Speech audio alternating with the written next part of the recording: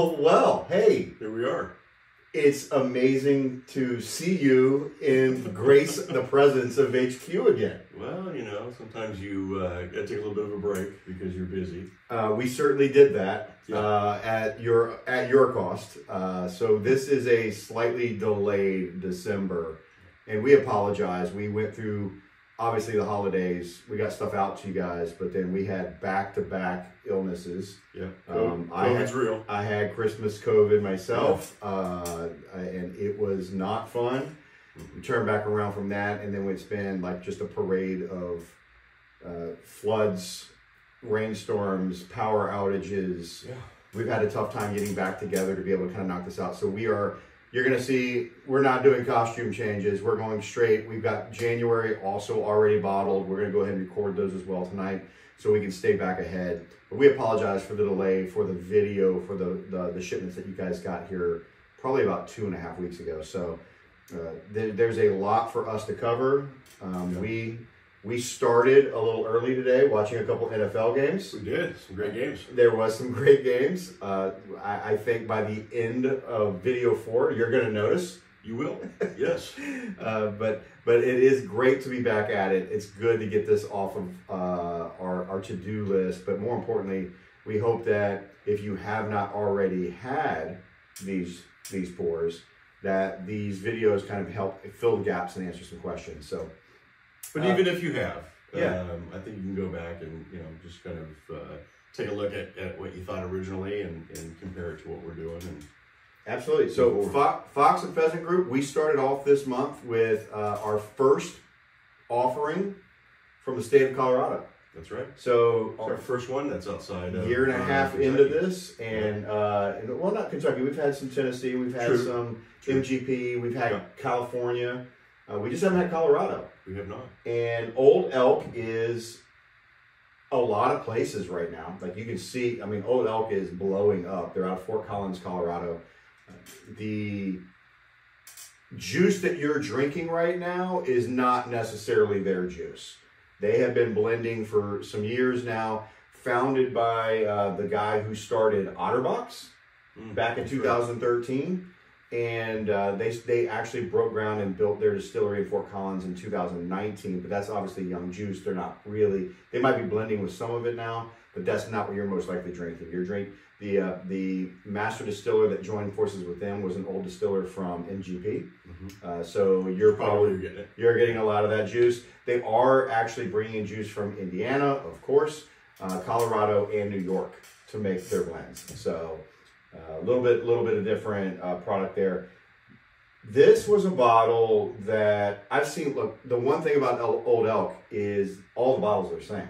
Mhm. So you walk by and you might not really know what you're looking at Yeah. because they all look just like this pretty much. And that doesn't mean that the juice is all the same. Uh, It's hard to decipher because I mean you really have to look at the label and really pay attention to you know, Yeah. what it's saying because it's it's it, it does all look the same. So this was one that we, yeah, I think you found it and took a picture and said, "What is this? Like, you know, is this a thing?" And we instantly both knew something was different about it. It is a single barrel, barrel proof. Although they don't say it, it's just that it's at 114.7 percent, so It's a heavy hitter. it's barrel proof. Yeah. Wheated, limited selection to the Costco's of California. Yeah. And we instantly just went like, well, I mean, even at Costco, it wasn't cheap, you know, as No. whiskeys go, uh, you know, but it was just all those, all Yeah. those things combined. When you start getting like a heavily wheated, and when we say heavily wheated, we'll get to that in a second. The mash bill on this particular guy is crazy. Um, the but a heavily wheated barrel proof Colorado whiskey, limited selection only to California. We're like that's again checking a lot of the boxes of stuff that we want to provide to the Fox and Pheasant, which is you're not going to find this again. No. So why don't we try it while we got it? Correct. Um, correct. Correct. uh, uh, so what makes Old Elk unique? Um, there are a couple things. One, this particular blend is the wheat percentage. Mhm. So this is a 51% corn, so they bring it just over the limit of becoming a bourbon. So 51%, 45% wheat. Yeah. and then just a few percent malted barley from there to make to make your whiskey and round that out. Uh, they also, I think, I read they they use like a red winter wheat as well. They do. Um, Matter of fact, they have a straight wheat. Yeah, they have a straight. They have a wheat. straight wheat that's. I mean, I I don't know if I've ever had a straight wheat. We have Before. once. Uh, we had it at the California distillery making that wheated whiskey that we stopped and had the distillery out. Oh, in- that is right. Uh, Petaluma. No, it was. Um, what's the other town that's out that way? Uh, there, there's a smaller yeah, town yeah. that's out that way. That It was we- around that area, but yeah. Uh, okay, you're right. One of our getaway weekends. That's right. That's right. One of our uh, bourbon hunting weekends. Yeah, but Yeah. we but we did have a distillery that had a full wheated bourbon. We've we've got a bottler. You've got a bottler. We, we've got some stuff from them. So, regardless, let's let's wind that back in. The other thing they do is a slow proof process, Mhm. a slow cutting, Mhm. and for all you guys know, uh, uh, whenever a whiskey is cut from the barrel proofing, they typically add water at the end to bring it down to the proof that they want. And that's done kind of all at once 24 to 48 hours. They cut it down with water to bring it to the proofing that they think expresses the, the, the, the whiskey the best way.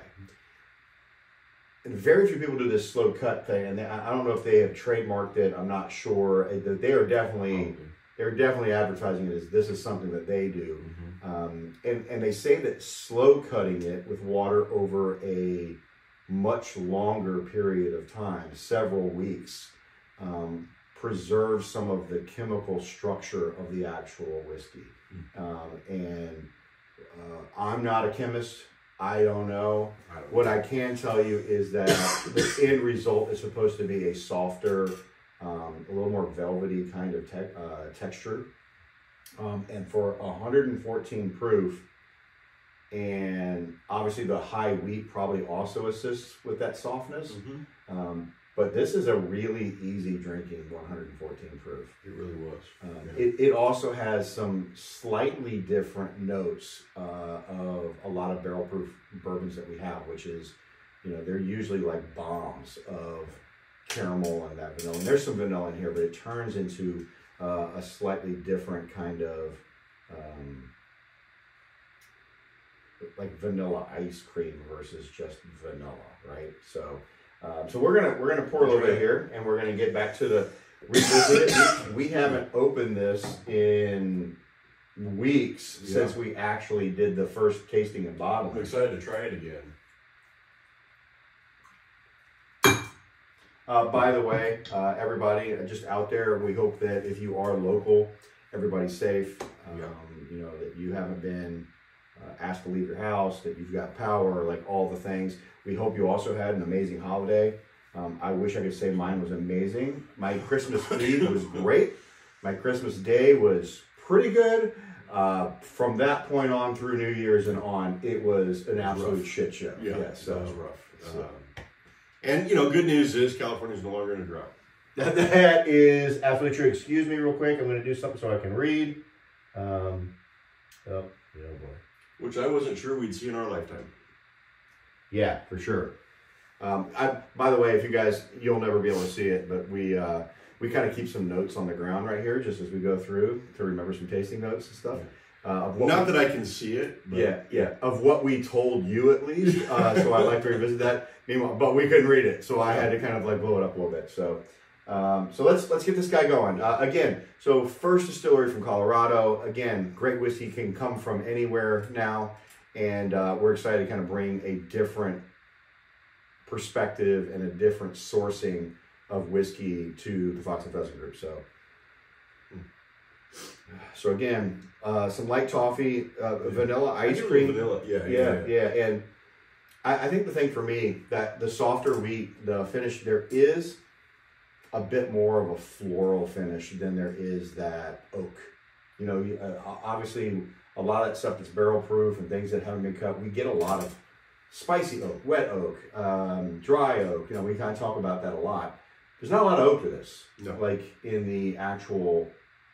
no, there's really not. Uh, Yeah. It's unique. Mm. I mean, the, the the nose is very unique. Different different from a lot of the bourbons that, that we sample. So and then as you get into it, I'm gonna see what they said. What I, I said, what I said in the first part. I said cream vanilla, and I do remember this about it too. Uh, there is uh, a bit of a toasted almond finish on the initial taste. So less vanilla finish, more of an almond. Which I've realized I like a lot. Um, I think our our Old Forester single barrel that was a lot of almond. Mm-hmm. Um, I, I think Stellum produced Mhm. some almond when we first went through that one. I get a little butterscotch. Okay. Yeah. Um,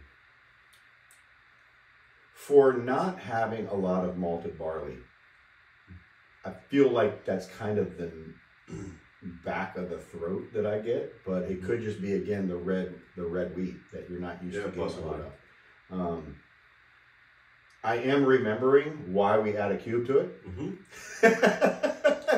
But, Uh, but but for 114 proof, Yeah. like I can sip this like a regular bourbon, and you know it just doesn't. It's not it, it's not as as hot as as I remember it, um, or some of the other 114s that we've had.